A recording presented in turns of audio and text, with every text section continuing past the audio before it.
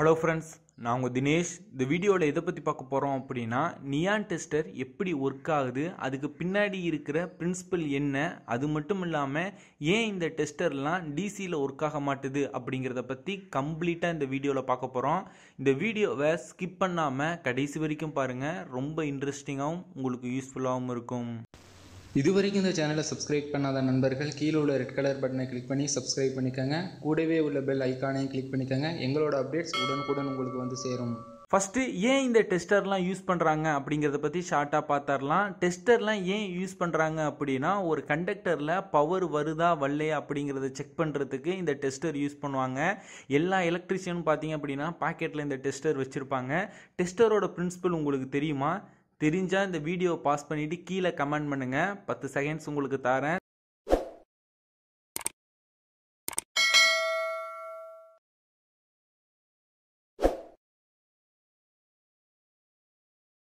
நிறைய நண்பர்கள் கமெண்ட் பண்ணியிருப்பீங்க அப்படின்னு நினைக்கிறேன். தெரியாதவங்க தெரிஞ்சுக்கங்க.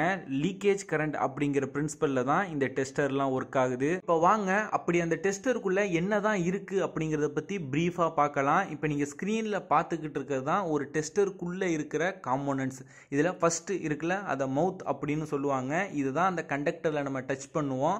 இந்த மவுத்தோட எண்டில் பார்த்தீங்க அப்படின்னா ஒரு சில காஸ்ட்லியான டெஸ்டரில் மேக்னெட் இருக்கும். ரொம்ப விலை கம்மியான உள்ள டெஸ்டர்லாம் வாங்கினீங்க அப்படின்னா மேக்னெட் இருக்காது. ஸோ இந்த மவுத் அப்படிங்கிறது ஒரு கண்டக்டிங் மெட்டல் தான். இதை தான் நம்ம அந்த கண்டக்டரில் டச் பண்ணுவோம். ரெண்டாவது பாடி அதாவது இன்சுலேஷன் அது வந்து டிரான்ஸ்பரண்ட் இன்சுலேஷன் பிளாஸ்டிக் அப்படிங்கிற மாதிரி சொல்லுவாங்க. அதாவது உள்ளுக்குள்ளே இருக்கிற அந்த கண்டக்டர் வந்து நமக்கு வெளியில் தெரியும். அந்த டிரான்ஸ்பரண்ட்டாக இருக்கும். இந்த பாடி எதுக்கு அப்படின்னா இந்த இன்சுலேஷன் பாடி உள்ளுக்குள்ளே போ அந்த இருக்கிற கண்டக்டரில் சப்ளை போகுது அப்படின்னா நமக்கு எதுவும் அஃபெக்ட் ஆகாத இருக்கிறதுக்காக இந்த பாடி மூணாவது ரெசிஸ்டர் நாலாவது நியான் பல்ப் அஞ்சாவது எலமெண்ட் அதாவது மெட்டாலிக் ஸ்ப்ரிங் ஆறாவது மெட்டாலிக் கேப் ஸ்க்ரூ மேலே அதை உள்ளே வச்சு லாக் பண்ணுறதுக்கு இந்த மெட்டாலிக் ஸ்க்ரூ இதில் பார்த்தீங்க அப்படின்னா அந்த ரெசிஸ்டர் நியான் லேம்ப் அந்த எலமெண்ட் அந்த மெட்டாலிக் ஸ்ப்ரிங் அந்த மெட்டாலிக் கேப் ஸ்க்ரூ இதெல்லாம் சீரியஸாக கனெக்ட் பண்ணி வச்சுருப்பாங்க. இப்போ ஒரு பர்சன் டெஸ்டர் எடுத்து சப்ளையில் வைக்கிறாரு அப்படின்னா ஃபஸ்ட்டு சப்ளை மவுத் வழியாக ரெசிஸ்டருக்கு வரும். ரெசிஸ்டர் என்ன பண்ணணும்னு பார்த்தீங்க அப்படின்னா நியான் பல்புக்கு ஏற்ற ரேஞ்சுக்கு ஏற்றவாறு சப்ளைவை கம்மி பண்ணி கொடுக்கும். இப்போ ஒரு பல்ப் எரியணும் அப்படின்னா ஒரு ஃபேஸ் ஒரு நியூட்ரல் தேவைப்படும். ஃபேஸுங்கிறது நம்ம அந்த கண்டக்டர் வழியாக வர அந்த ரெசிஸ்டர் கம்மி பண்ணி கொடுத்துரும். நியூட்ரல் பார்த்தீங்க அப்படின்னா மேலே உள்ள அந்த மெட்டாலிக் ஸ்ப்ரிங்கில் கனெக்ட் பண்ணியிருப்பாங்க மெட்டாலிக் ஸ்ப்ரிங் வந்து மேலே மெட்டாலிக் கேப் ஸ்க்ரூவோட கனெக்ட் ஆகி லாக் பண்ணியிருப்பாங்க. இப்போ அந்த பெர்சன் வந்து அந்த மெட்டாலிக் ஸ்க்ரூவில் கை வச்சார் அப்படின்னா அது வழியாக அவருக்கு நியூட்ரல் கிடைக்கும். ஏன் அப்படின்னா மே பெர்சன் வந்து என்னென்னா கிரவுண்டில் நிற்பார் நீங்கள் பொதுவாகவே நியூட்ரல் பார்த்தீங்க அப்படின்னா டிரான்ஸ்ஃபார்மரில் செகண்டரி பைண்டிங் சைடில் கிரவுண்ட் பண்ணியிருப்பாங்க ஸோ அதே கான்செப்ட் தான் இங்கேயும். இப்போ ஒரு பெர்சன் வந்து எர்த்தில் நின்றுக்கிட்டு அந்த மெட்டாலிக் கேப் ஸ்க்ரூவில் கையை வச்சார் அப்படின்னா இது நம்ம மூலியமாக அதுக்கு வந்து நியூட்ரல் கிடைக்கும். ஸோ நிறைய பேருக்கு இருக்க காமன் டவுட் என்ன அப்படின்னு பார்த்தீங்க அப்படின்னா இந்த டெஸ்டர்லாம் ஏன் இந்த டிசியில் ஒர்க் ஆக மாட்டுது? ஏசியில் மட்டும் ஒர்க் ஆகுது அப்படின்னு சொல்லிட்டு இதுக்கு என்ன ரீசன் அப்படின்னு பார்த்தீங்க அப்படின்னா ஏசி பவர் சப்ளை எடுத்துக்கிட்டோம் அப்படின்னா ரெண்டு டெர்மினல் இருக்கும். ஒன்று ஃபேஸ் இன்னொன்று நியூட்ரல் ஃபேஸ் அப்படிங்கிறது லைவ் ஒயர் இல்லைனா ஹாட் ஒயர் அப்படின்னு சொல்லுவாங்க. நியூட்ரல் அப்படின்னு நம்ம எடுத்துட்டோம் அப்படின்னா டிஸ்ட்ரிபியூஷன் டிரான்ஸ்ஃபார்மரில் செகண்டரி வைண்டிங் சைடு இந்த நியூட்ரல் வந்து க்ரௌண்ட் பண்ணியிருப்பாங்க. நீங்கள் ஜஸ்ட் ஒரு அண்டர்ஸ்டாண்டுக்காக நியூட்ரல் வந்து க்ரௌண்டாக அசீவ் பண்ணிக்கோங்க. ஜஸ்ட் ஒரு ரெஃபரன்ஸுக்காக தான். இப்போ நம்ம ஒரு டெஸ்டரை எடுத்து ஏசி பவர் சப்ளையில் அந்த லைவ் ஒயரில் நம்ம வைக்கும்போது என்ன நடக்கும்னு பார்த்தீங்க அப்படின்னா சப்ளை அதாவது வந்து ஃபேஸ் நியூட்ரல் ரெண்டு இருக்குல்ல ஃபேஸ் வந்து என்னென்னா என்னன்னா கண்டக்டர் வழியாக வந்துடும் நியூட்ரல் வந்து நம்ம கிரவுண்டில் நின்றுட்டு தானே நம்ம வந்து அந்த டெஸ்டரில் நம்ம கையை வைக்கிறோம். ஸோ நம்ம மூலியமாக அதுக்கு நியூட்ரல் கிடச்சிரும். ஸோ அப்படி கிடைக்கும் போது சர்க்கியூட் வந்து க்ளோஸ் ஆகிட்டு டெஸ்டர் வந்து என்னென்னா குளோ ஆகும். இதுவே டிசி பவர் சப்ளை எடுத்துட்டோம் அப்படின்னா அங்கேயும் ரெண்டு டெர்மினல் தான் இருக்கும். இதை பாசிட்டிவ் டெர்மினல் மற்றும் நெகட்டிவ் டெர்மினல் அப்படின்னு சொல்லுவாங்க.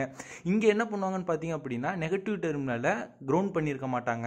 டிசி பவர் சப்ளையில் நெகட்டிவை கிரவுண்ட் பண்ணாததுனால நீங்கள் ஒரு டெஸ்டரை எடுத்து பா பாசிட்டிவில் நீங்கள் வைக்கும்போது சர்க்கியூட் வந்து க்ளோஸ் ஆகாது ஓப்பன் சர்க்கியூட்டாகவே தான் இருக்கும்.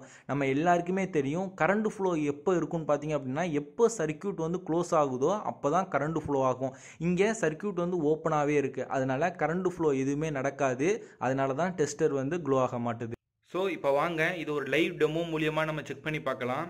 இப்போ என் கையில் இருக்கிறது Taparia eight one three model tester so நான் ஆல்ரெடி எக்ஸ்பிளைன் பண்ணது போல் டெஸ்டர் அப்படிங்கிறது ஃபேஸ் ஒயரில் ஃபேஸ் ஒயரில் நமக்கு சப்ளை வருதா அப்படிங்கிறத செக் பண்ணி பார்க்குறதுக்கு தான். இப்போ நான் ஃபேஸ் ஒயரில் டெஸ்டரை வச்சுட்டேன் சுவிட்சை ஆன் பண்ணிட்டேன். ஆனால் டெஸ்டர் வந்து க்ளோ ஆகலை.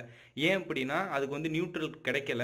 ஸோ இப்போ நான் என் கையை வச்சோனையுமே டெஸ்டர் வந்து க்ளோ ஆகும். ஸோ மேலே உள்ளதும் ஃபேஸ் தான். ஸோ சைடில் நியூட்ரலில் பார்த்தீங்க அப்படின்னா கையை வச்சா டெஸ்டர் வந்து க்ளோ ஆகாது. பார்த்தீங்கன்னா உங்களுக்கே தெரியும். அதே போல் எர்த்தில் வச்சாலும் டெஸ்டர் வந்து க்ளோ ஆகாது.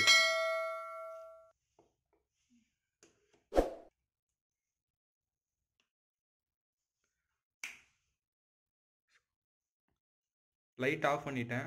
பாருங்கள் நல்லா தெளிவாக தெரியுது. ஓகே ஃப்ரெண்ட்ஸ் இந்த வீடியோவில் டெஸ்டர் எப்படி ஒர்க் ஆகுது அப்படிங்கிறத பற்றி எனக்கு தெரிஞ்ச ஒரு சில தகவல்களை தான் உங்கள் கூட நான் ஷேர் பண்ணேன். இந்த வீடியோ உங்களுக்கு பிடிச்சிருந்ததுன்னா இந்த வீடியோக்கு ஒரு லைக் கொடுங்க. இந்த வீடியோ பற்றின கருத்துக்கள் மற்றும் உங்களுக்கு டெஸ்டர் ரிலேட்டடாக ஏதாவது டவுட் இருந்ததுன்னா கீழே கமெண்ட் பண்ணுங்கள் கண்டிப்பாக நான் ஆன்சர் பண்ணுவேன். மறக்காமல் இந்த வீடியோவை உங்கள் நண்பர்களுக்கும் ஷேர் பண்ணுங்கள் நம்ம சேனலில் எலக்ட்ரிக்கல் ரிலேட்டடான வீடியோஸை தொடர்ந்து தமிழ் மொழியில் அப்லோட் பண்ணிக்கிட்டே வரோம். உங்களுக்கு எலக்ட்ரிக்கல் பற்றி தெரிஞ்சுக்கணும் அப்படின்னு ஆர்வம் இருந்ததுன்னா நம்ம சேனலை சப்ஸ்கிரைப் பண்ணிக்கோங்க. கூடவே உள்ள பெல்லைக்கானையும் கிளிக் பண்ணிட்டீங்க அப்படின்னா நாங்கள் ஏதாவது புதுசாக வீடியோ அப்லோட் பண்ணோம் அப்படின்னா மிஸ் பண்ணாமல் உடனுக்குடன் நீங்கள் பார்க்கலாம்.